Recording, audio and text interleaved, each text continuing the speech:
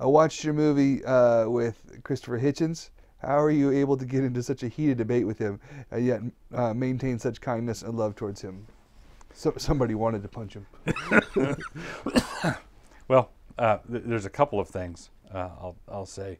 First, Christopher Hitchens, um, his sometimes his confrontational public rudeness is a it's it's a very clear calculated tactic to throw people off and to get rock them back on their heels.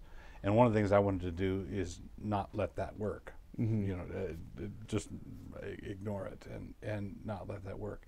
The second thing is this um, doesn't have to do with Christopher so much. This is something I learned from my dad, where he he said that the point of apologetics, the point of debate, the point of evangelism, is to win the person, not to win the argument.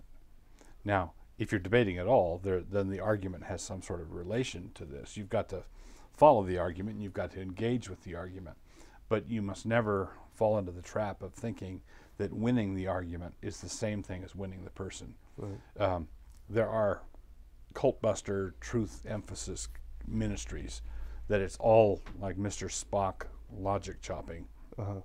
and they they run the argument out, and they yeah they're manifestly right, but they are missing what the what the study of rhetoric teaches us, which is it's not just logos. There's also ethos and pathos.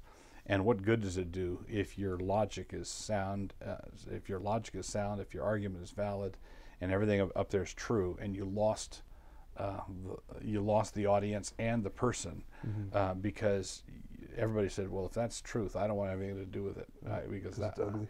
It's ugly,